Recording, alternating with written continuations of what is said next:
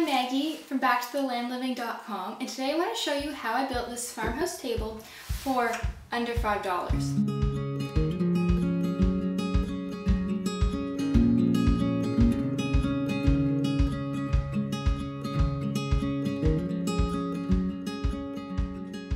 So I built this harvest style farmhouse table for, for my sister for her birthday. I wanted to, she was building a new house or renovating a house and I wanted to build a table that fit perfectly in the space here.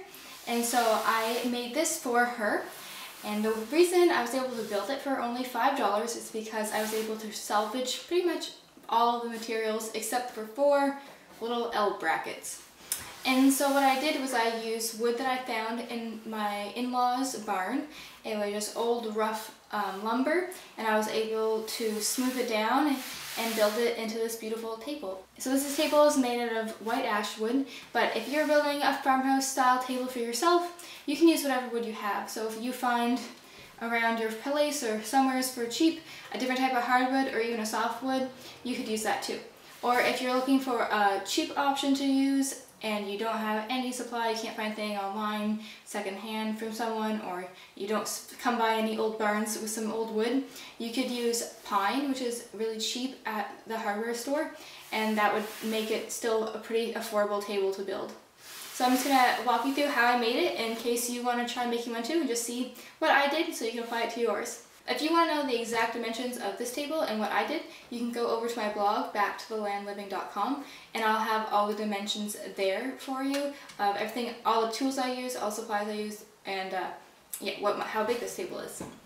And so um, to build this table, the first thing I did was get my materials together. So I got, brought my wood up to my grandparents' shop and then I started building. And so the first thing that I did was I needed to square up my boards. So my boards were quite old. They had a live edge on them. They were rough. And so I needed to square them up. And so what I did was I took a strip of wood that was nice and straight and screwed it to the side of the live edge and then ran that through the table saw to clean up the other side and then did the same. I took the screws out, took that guide off, flipped it over, and sawed off the other live edge just to start squaring up my boards.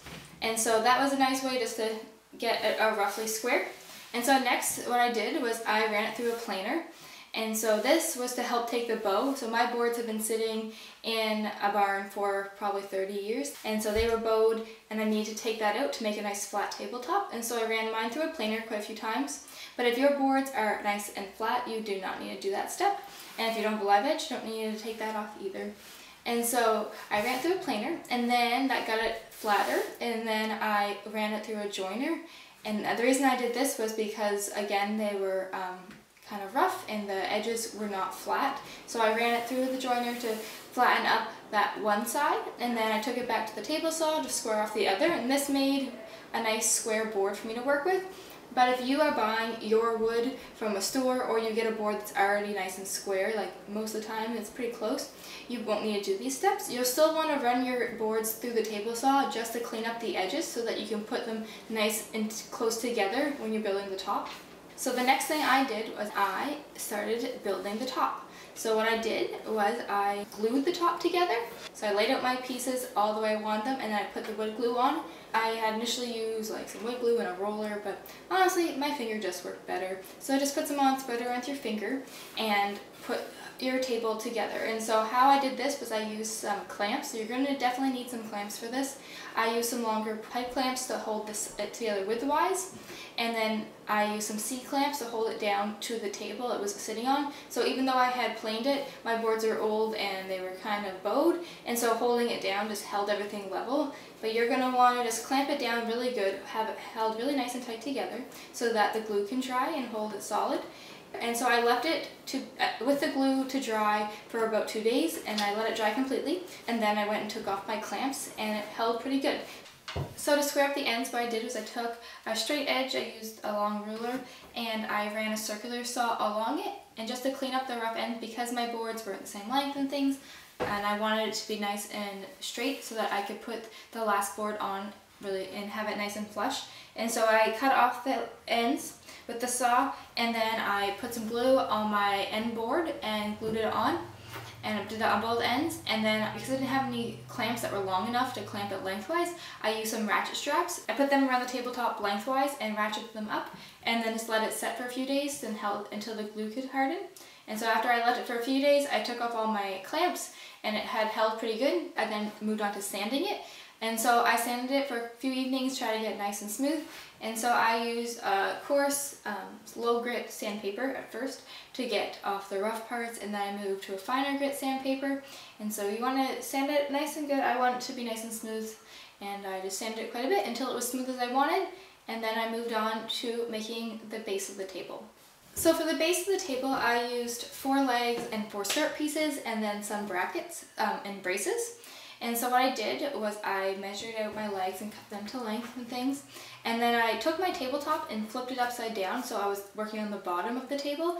And then I built the leg pieces and the skirt pieces on the bottom of the table. And so I had them all cut to length. So what I did was I measured out where I wanted my screws to go and I drilled some pilot holes so that it wouldn't split the wood, which is a good thing to do. And so I, what I first did was I screwed my skirt pieces to my leg pieces and I had them all measured out nicely and I screwed them together. And then the next thing that I did was I screwed my middle braces to the actual tabletop. And so for this I used some 2x2s, just some pine that was sitting around the shop that was left over. And I cut them to the right length and I screw them to the tabletop. Now you want to be really careful with this. You want to make sure that your screws are the proper length depending on how thick your wood is so that you do not go through the top of your table with your screws. So be super careful with that. So I screwed the braces to the tabletop. I put three of them across the middle and then from there I use a nail gun to nail the skirt pieces to those middle braces and that just held it nice and secure and also by not using any screws on the outside you can't see any screw marks on the skirt from the outside.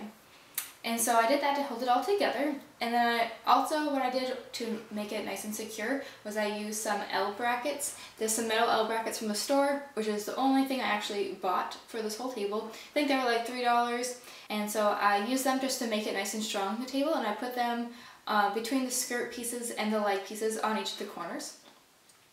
And so I had that to keep it secure. I had the middle braces to keep it nice and secure. And then the final thing I did was I made some corner brackets um, out of wood. And so there was an extra brace. And so I cut these at the right angle for each corner and nailed them to the skirt.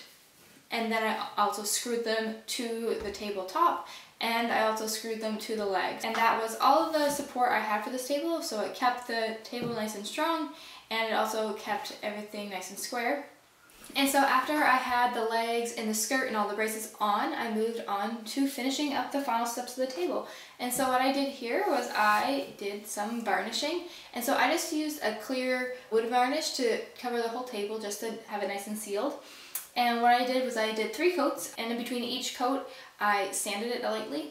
And so I put a coat on, let it dry, sand it off because um, when you put the varnish on it'll kind of bring out the grain of the table. So I sanded that back down, then cleaned it off so there was no dust, and then put another coat on. So I did that three times.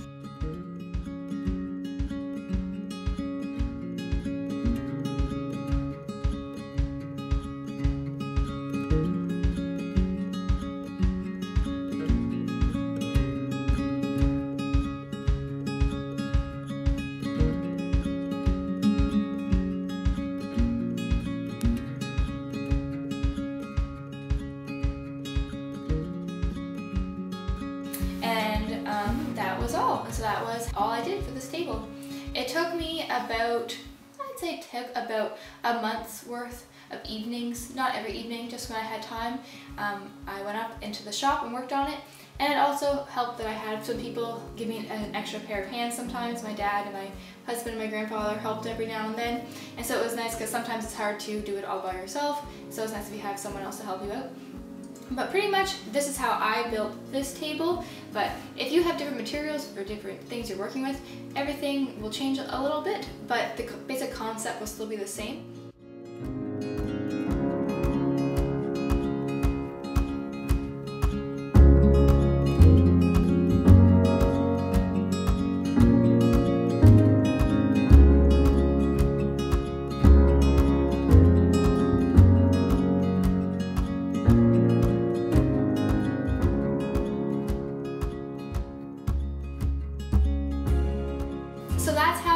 This harvest style table for under $5. If you have some avail um, materials available to you or do some salvaging and are resourceful, you can build a harvest table too for pretty cheap. So let me know how it goes if you try one. And thanks so much for watching and I'll see you on the next one.